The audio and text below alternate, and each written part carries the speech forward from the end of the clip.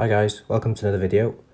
Here's just a short clip of me catching a trout on a bung with great footage of a couple of false takes before the fish committed which I'll um, talk you through in a minute.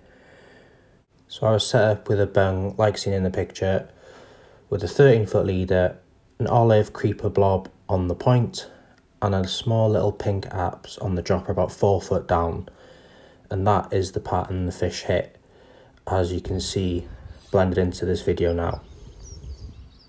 So I've just cast out, I'm going to let the fly sink and I'm going to correct my line and retrieve some of it in as you see to make sure I'm in contact with that bung. I've got a nice little breeze so the bung is swinging round naturally which is a killer method. So if you keep around the bung, any second now it's going to bob under. Just there.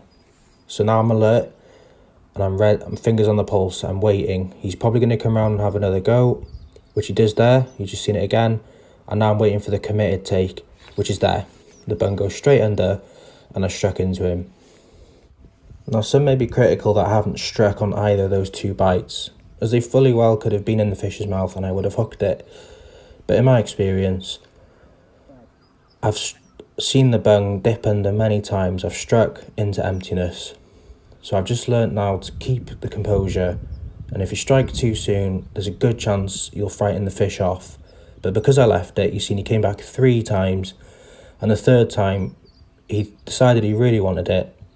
And he's on, as you've seen.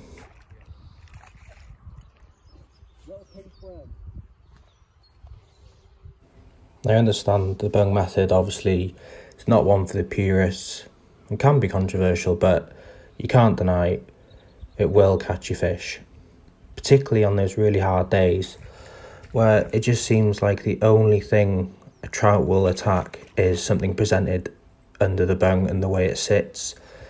Lures, even buzzers fish naturally, the trouts aren't interested until you throw something bizarre or a pattern that a trout hasn't seen or is not familiar with. So quite inquisitive fish and they will investigate anything in their territory or when they're swimming past that they're not familiar with. There's a host of patterns like blobs, eggs, squirmies, chamois, apps, worms, loads. You can try buzzers even.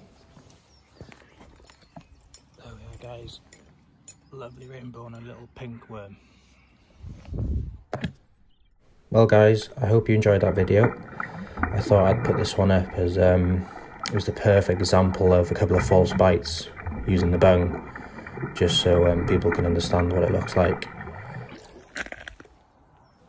And as always, you can find me on Instagram at Welsh underscore flyfish for more content, daily updates that I do.